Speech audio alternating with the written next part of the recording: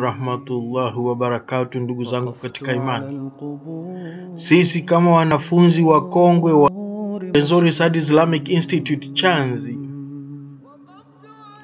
ndugu Ahmad Minongo, wengi tunamjua, tumesoma naye, tumecheza naye, tumekuwa naye, tumehifadhi Qur'an pamoja, tunaishi kijiji kimoja, tunaishi mji mmoja. Ana hali ngumu sana ya kimaisha. Tumeona jukumu letu ni kumsaidia, lakini nguvu zetu chache. Kwa hiyo tunakuomba msaada wako, ewe Muislamu.